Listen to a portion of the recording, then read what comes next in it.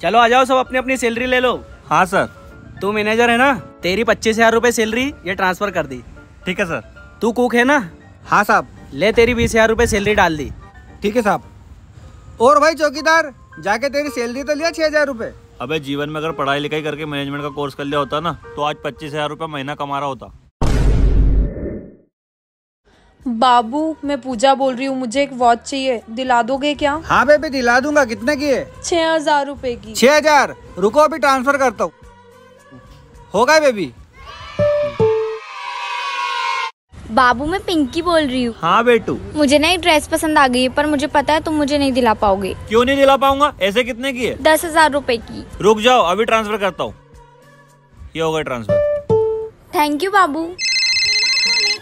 हाँ बेबी। आ जाओ ना मैं तुमको मूवी दिखाता हूँ। चलो। बेबी